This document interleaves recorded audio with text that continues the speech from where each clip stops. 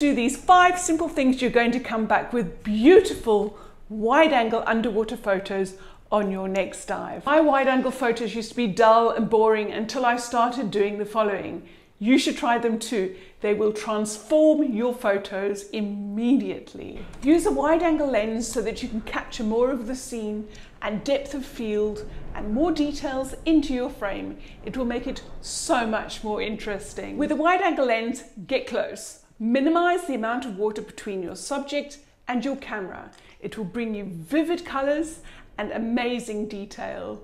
Use the natural light of the sun to light your water column and use your strobes to light your subject. Always have a subject to make your photo interesting and have a background that adds depth to your image. Shoot from different angles to get different perspectives and always remember if you're shooting upwards to include the surface of the